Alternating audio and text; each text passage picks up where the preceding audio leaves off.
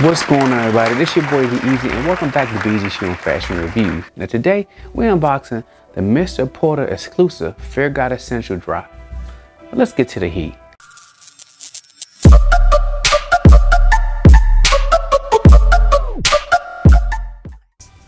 Looking at the box, you have an all white box with Mr. Porter written across in bold black lettering.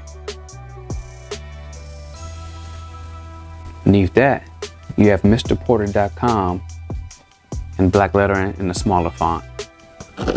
Once opening the box, you have in black lettering, you can recycle this box and made in the USA on one side and Mr. P signature on the other. Now as you look into the product, what was different this year, I didn't receive the zip packaging like previous. You just had your clothes neatly folded inside the box. In this exclusive drop, Jerry featured two new colorways in the adult essential line. That's cream and brown. As you see, Jerry went with the old previous model and dropped the huge branding across the chest and put it over to the left side in a smaller print. Now looking at the logo on the left, you have essentials in bold letters and Fear Of God in a smaller font, both in that reflective material. And then in the back, Right underneath the collar, you have your essential tag. Now, unlike long sleeve hoodies and sweatshirts, there's no other branding on the sleeves. And note, these two new colorways are not the same as the previous names. The cream is a bit brighter as the original cream colorway, and the brown looks more like a burnt orange. In this drop, I decided to go with two different sizes. The cream is an extra small and the brown is a small.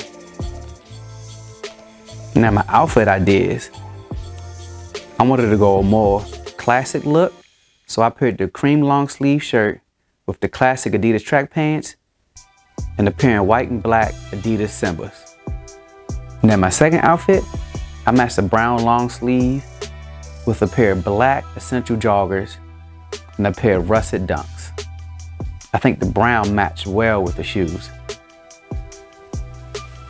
Now I like what Jerry's been doing in the last year and a half. His colorways have gotten a little brighter.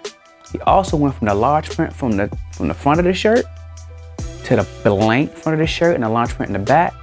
Now back to one of his originals where you have his logo on the left side of the shirt in a smaller print. Now if you like anything you've seen today, hit that like button, hit the subscribe button, plus the notification bell. It helps out the channel, it helps me bring out more content.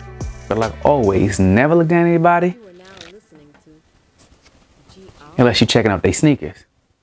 I'm out.